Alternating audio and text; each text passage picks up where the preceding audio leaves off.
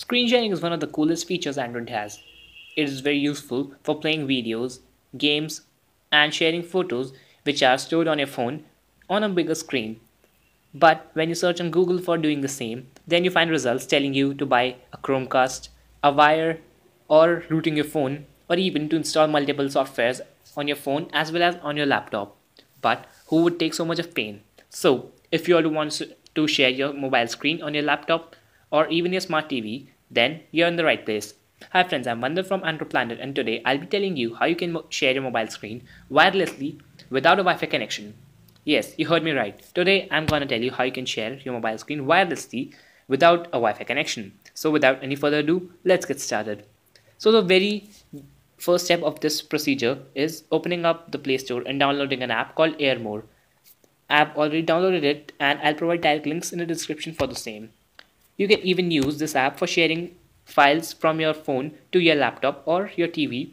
So if you want to know how you can do that, then I'm leaving a card to a video. So now let's proceed. After you have downloaded this app, just open it. As you can see, I have an option for hotspot on the top, sorry, the bottom left of my screen. So just click it. Now it has created a Wi-Fi hotspot using my phone, which is named AirMore AP, and it has a password 12345678. Actually, the password was different, but I've already changed it because it was too tough for me to remember. Now, I'll switch to another phone on which I'll share my mobile screen. As you can see, I'm on the other phone. Just open up settings, head over to the WLAN or Wi-Fi settings, open Wi-Fi, and connect to the wireless Wi-Fi connection which has been created using this phone or your phone. I've already connected it. So next step is opening up browser of your phone then typing in the URL which it shows in the second step. I'll just type in the URL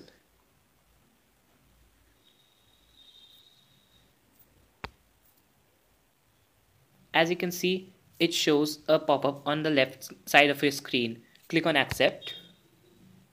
Now it's almost done.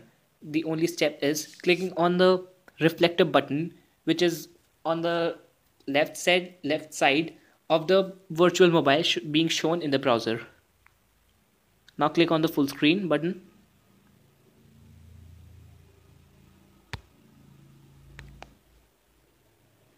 Now as you can see, mobile screen sharing is complete and it is pretty flawless. I can even play videos, I can share photos and it's pretty good.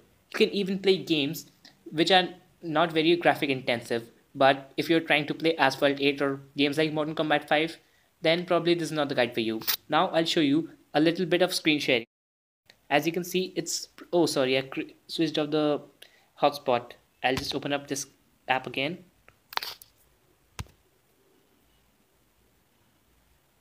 I don't know what has happened, I'll just check.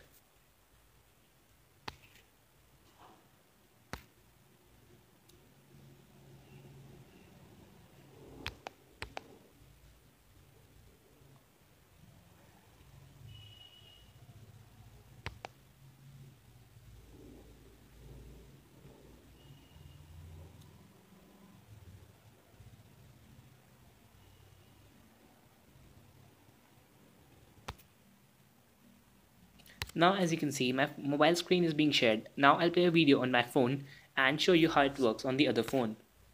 You can even share your mobile screen using the same procedure on your laptop or on your phone, another phone or even your TV. So just I'll open up gallery.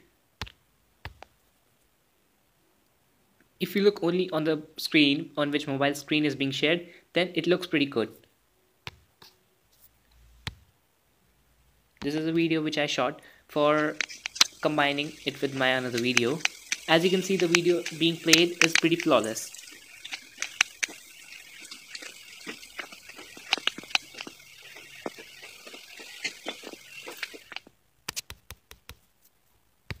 So that's it for this video.